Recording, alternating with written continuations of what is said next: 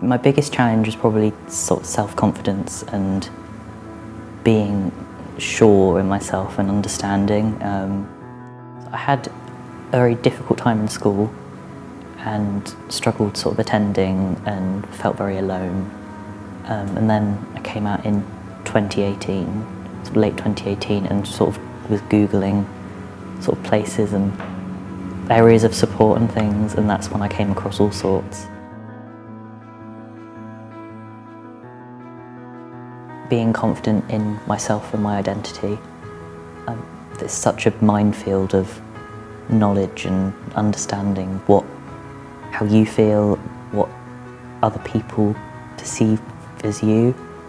And so having that certainty in how I felt and how I wanted to identify was certainly a challenge for me. The, the biggest change since coming to Allsorts would definitely be my confidence. Um, I've never done any public speaking before I found Allsorts and now I sort of done it a lot more and it doesn't sort of faze me as much.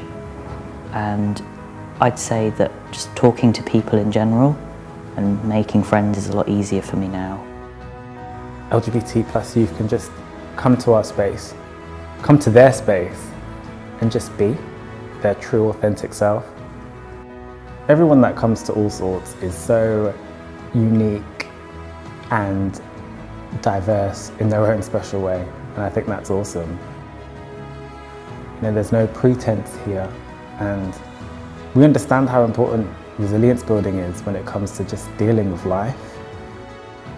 There's definitely community at Allsorts where we provide peer support for our families.